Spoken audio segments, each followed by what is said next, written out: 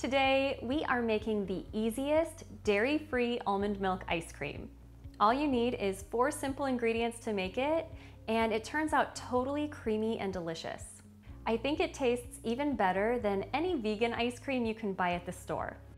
To get started, you'll need to make sure that the bowl of your ice cream maker is frozen for at least 24 hours in advance if your machine requires that. I'll also show you how to make this without an ice cream maker, but the texture turns out best if you have one. To make the ice cream, you'll need one and a half cups of almond milk or water. The reason you can use water is because the next ingredient is three quarters of a cup of almond butter.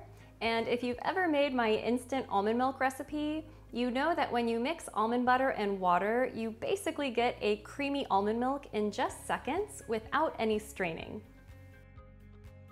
I've tried making this ice cream using only almond milk without the almond butter, and the texture turns out more like an icy slushy rather than an ice cream. So the almond butter is key for getting a creamy ice cream texture. I've also tried blending whole almonds in this recipe instead of using the almond butter, and the result is very fibrous and not at all the same as when you use almond butter, so I don't recommend trying that either. Next, you'll add in a third cup of maple syrup and one tablespoon of vanilla extract. You can also add a pinch of salt to help boost the flavor.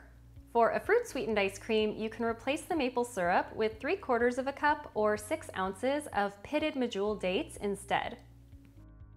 Blend that all together until it's totally smooth, then remove the bowl from the freezer and get your ice cream machine ready.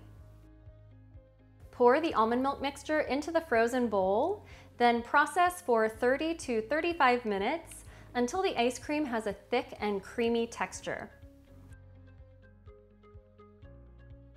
If you don't have an ice cream maker, simply pour the mixture into an airtight container with a lid and place it in the freezer to freeze overnight.